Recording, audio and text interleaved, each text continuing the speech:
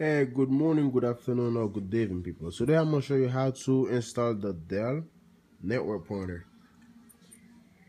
Well, this is the model number right here.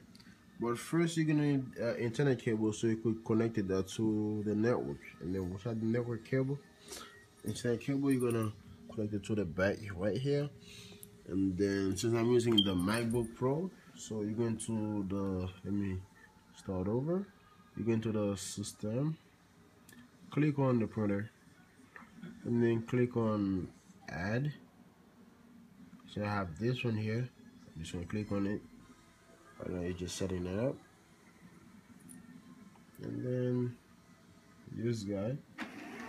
And then right now you could see the printer is actually working let's do back here? I'm gonna show you how like let's just do uh, a test printing so let's start with any, any, anything. So hit print. As you can see here.